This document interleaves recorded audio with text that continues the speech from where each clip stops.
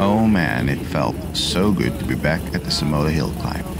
The atmosphere, even without the spectators, was intense, familiar. It's hard to believe that two and a half years have passed since the last one. Screw you, COVID.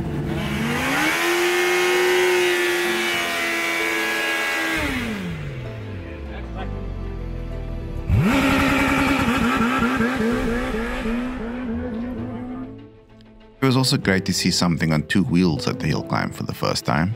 That is no less than the new Suzuki Hayabusa was simply unbelievable. The man making all the smoke is AJ Venter, aka the quickest South African to ever lap the Isle of Man TT. That's right, Suzuki had a presence at the latest hill climb, which makes sense. Monster Tajima and his crazy Vitara and SX4 rally beasts have long conquered Pikes Peak, which must be the most infamous hill climb on the planet so it makes sense. Then locally, there's the fact that some of the single seaters at Simola are also running Hayabusa engines, including Franco Scribante's winning Chevron, which has two mated together to form a V8. Then there were these two champs. Oh, I was excited that even though it's sort of like by default, I got to go in the top 10. So I was excited to get my last run because I didn't get the last qualifying. And I thought I could get a 30, like get into the 46s, but obviously can get slower in this last run and then I kind of missed a gear. but I still got a good time and it was a very good weekend and I definitely will come back again. Well, we ecstatic. I mean, from the last time that we were here two years ago, we've gone nearly a second quicker.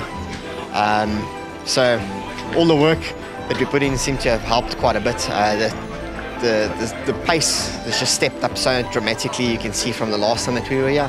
Thanks to Suzuki um, for all their backing for the, the, the hill climb this weekend, so we're happy with that. But naturally, there was also the usual lineup of Nissan GTRs and supercars on the hill, buggies and sports cars, and I was one of the lucky content creators that got to produce some films exclusively for Suzuki and, of course, the folks at Nissan.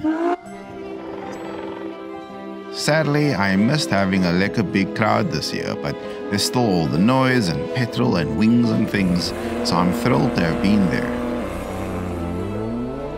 It's been as exciting as ever. The battle between the Nissans has been awesome to behold, with the usual heavy hitters such as Scribante, Wilhelm Baard, and Wade van Zummeran at the front of the pack doing high 39s and 40s. Wade's R34 in particular was a sight to behold as he too broke into the 39s, and later posted the most mental sideways lap of the hill I'd ever seen, and not on purpose.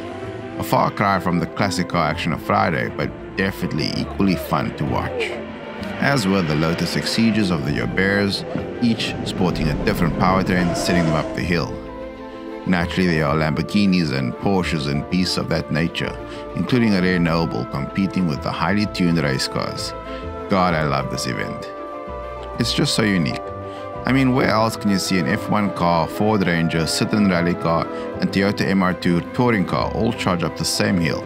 And about that MR2, it was driven by Peter Zeile, who managed to beat out the Nissans and crack into the 39s, winning the event for the first time ever. I'll have sleepless nights for months over this one. That was absolutely in the bag. All I had to do was bring it home and made a mistake up the hill and selected the wrong gear and had a box full of neutrals. And by the time I'd sorted myself out, a second or two had gone away and couldn't get it back, and that was that. I'm a little bit baffled. They must uh, find out what happened there. Um, we, had no power, so um, I, I, do not know if something, uh, it's glitch or uh, electronic something, but we had, uh, yeah, from the launch I understood that the power was was limited somehow, and, and then uh, we had, yeah, so at the top I could go, but um, where I needed it was, there was nothing, yeah. Not, not enough. There was something, but not enough.